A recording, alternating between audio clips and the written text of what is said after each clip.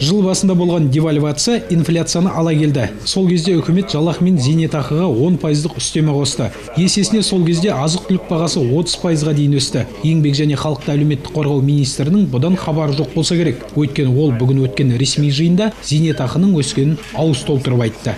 Биылғы жылы біз зейнетақыны он пайызға көтердік. Естеріңізде бар жылдың басында тоғыз пайызға көтердік. Содан кейін елбасының тапсырмасына сәйкес төрт пайызға дейін қазір инфляцияның коридоры сол жеті мен алты мен сегіздің ортасында базар бағасымен салыстырғанда министр айтқан 14 пайыз теңізге тамған тамшыдай ғана екені белгілі. Егер девальвация қайталанып инфляция қарқынынан қайтпаса күнкөріс тіпті қиындайды. Дегенмен саясаткер талғат омаровтың пікірінше бұл қиындықтан шетелдік инвесторларды қуып жіберу арқылы құтылуға болады.